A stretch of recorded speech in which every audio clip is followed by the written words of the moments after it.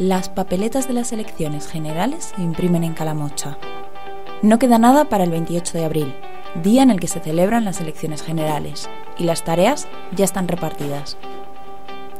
Tras un concurso público, la empresa calamochina Sistemas de Impresión y Diseño, conocida más como SID, ha sido la elegida para imprimir todas las papeletas que se utilizarán en la provincia de Teruel. Normalmente lo sacan a concurso, lo hemos presentado otros años y bueno, este año pues nos, nos lo han dado a nosotros. Inmersos ya en la tarea no solo de imprimir, sino de recortar y agrupar por mesas, desde el SID aseguran que es un trabajo muy laborioso.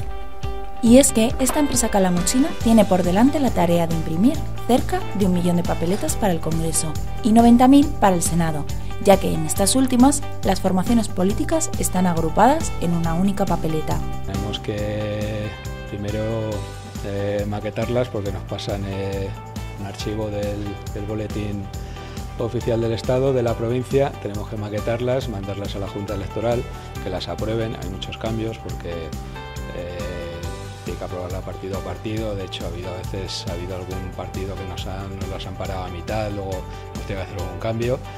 Y, bueno, pues imprimir, manipularlas, recortarlas a, la medida, sobre todo las de Congreso son más pequeñas en, la provincia de Teruel y, luego agruparlas por mesas electorales de los pueblos y de, y de, Teruel, Calamocha y Cañiz, que tienen varias mesas electorales.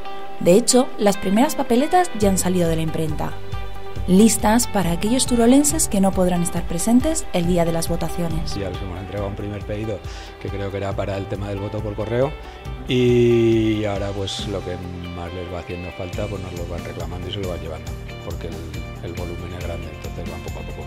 Y aunque es la primera vez que ganan este concurso, no descartan volver a ser los elegidos en las próximas elecciones municipales del 26 de mayo. Nos presentaremos igual, sacan a concurso, son varias, no solamente son las papeletas, luego hay bastantes actas, eh, o sea, hay más trabajo de papelería aparte de, este que estamos haciendo ahora mismo, pero que este bueno, es el más llamativo. Nos presentaremos y bueno, si hay suerte, pues hay más empresas que se presentan y, es un poco de suerte. Por el momento, se encuentran centrados en esta ardua tarea que terminará cuando la subdelegación del Gobierno las recoja, ya que es la encargada de llevarlas a cada mesa electoral.